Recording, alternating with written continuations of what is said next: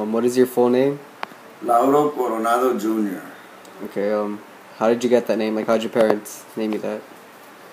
Uh, I guess because my dad is Lauro Senior, that's why I guess that's why they chose my name. Okay, um, how did you come about to be in the Marines? I was interested in the military ever since I was in high school. When I turned 17, I started talking to the recruiters and I decided to enlist.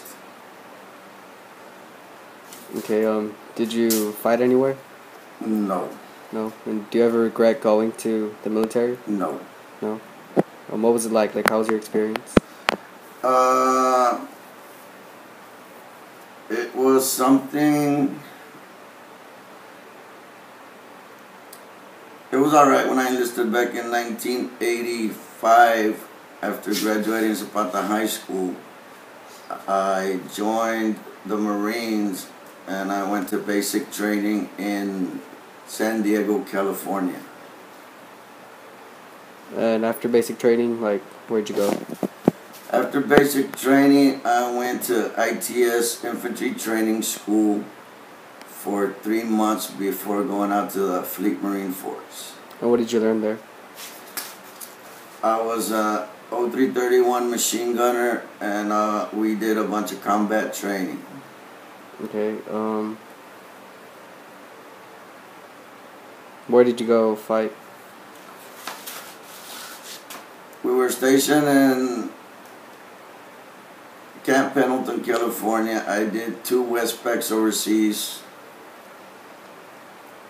I went to Okinawa, Japan in 1986 to 1987. We were deployed for six months. While being overseas, we served in mainland Japan for training. How was it like in Japan? Japan was nice. Did you make any friends in Japan? Like, with Japanese people? Uh, yes, basically, in the base they had Japanese people as cooks because the military employs people from there and you get to meet some. And did you go anywhere after Japan? After Japan, we came back to the United States in 1986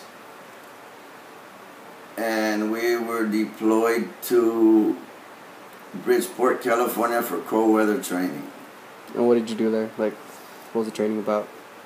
It was cold weather training. We were taught how to survive in the snow and how to fight in the snow.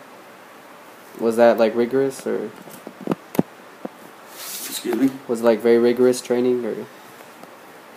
Well, it was hard training due to the snow and not being used to being around it, but you get acclimatized to it. Um, and like after you went to California again, were you deployed anywhere else? We were deployed to Panama. We were before that we went to Honduras back in '88, I believe. We did more combat training there. And what'd you do in Panama? Panama was basically basically jungle training. It's the same thing, combat training, but it's a, a different climate. So you're stationed in different places for different trainings. Yes, you're deployed to cold weather training. Uh, cold weather. It's it's free to get acclimatized. So if you ever get called to any different kind of climate, you're used to it, or you can acclimatize sooner, Mhm. and you can be ready for any type of combat. Did you go anywhere else besides Panama and Japan? I was in Honduras in 19, 1989. We did 30 day training there too. And whenever you came back to America, like back to America, like how was your ex- like experience? Um, like how'd you feel like when you came back? Well, you're always bl- you're always glad to be back in the United States, but it's it's just natural. You just got to get used to it when you get back, because we used to do six month tours, and you're away for a little while. Did you miss your family? Yes. When you came back, did you go to California or back to Zapata? Every time we got back from a, from a training, we would come home. I would come to Zapata at least once a year. Mm, did it has being in the military teach you anything? Oh yes, the military is great. The military teaches you a lot of different things you learn as you go along from different people and you know people you meet people from all over the place and you learn a lot of good things from them. So there's like a lot of discipline and all that. The military is nothing but discipline, very good discipline where you learn how to take care of yourself and you learn how to respect people. So did you have like a good experience in the military? Yes, I did. Okay. Uh, thank you. Can you tell me more about the crew weapons competition? In 1988, we put together a, a seven-man team with the M60 Echo 3 machine gun where we competed against other companies. Uh, we won company, we won battalion, and we went to go compete in regiment. In uh, nine, in February 1988, we went to regiment competing during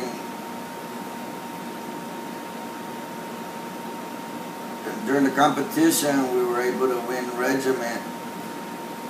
We went against other teams from the Marine Corps.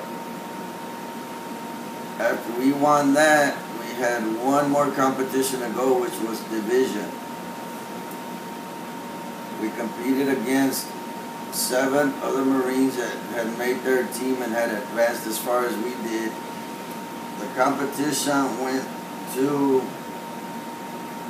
it was from March to April 1988, where we were able to win, to, to win it all.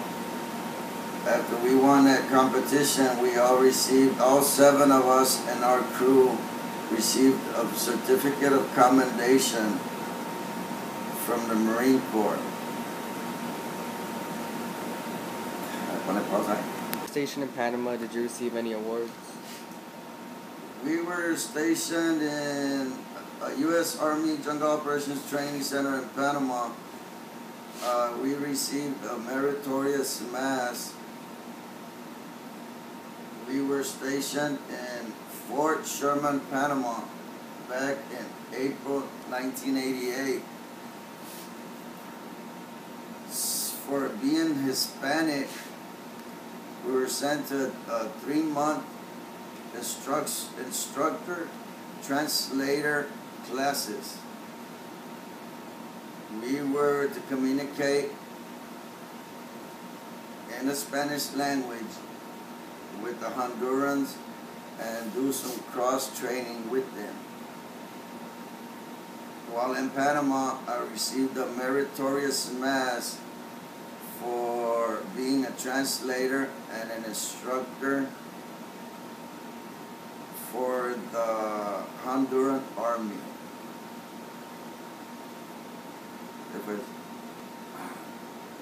Still recording? Mhm. I was an instructor for the 11th Infantry Honduran Army.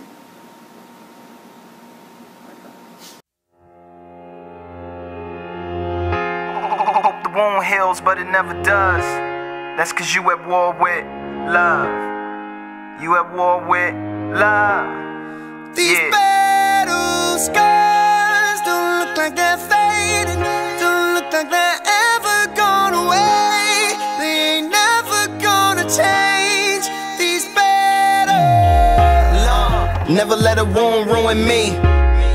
But I feel like ruins ruin me. Arrow holes that never close from Cupid on a shooting spree. Feeling stupid cause I know it ain't no you and me. But when you're trying to beat the odds up and trying to keep your nods up, and you know that you should know and let it go. But the fear of the unknown, hone another lover's phone sends you back into the zone. With no Tom Hanks to bring you home. A lover, not a fighter on the front line with a poem. Trying to write yourself a rifle, maybe sharpen up a song if I could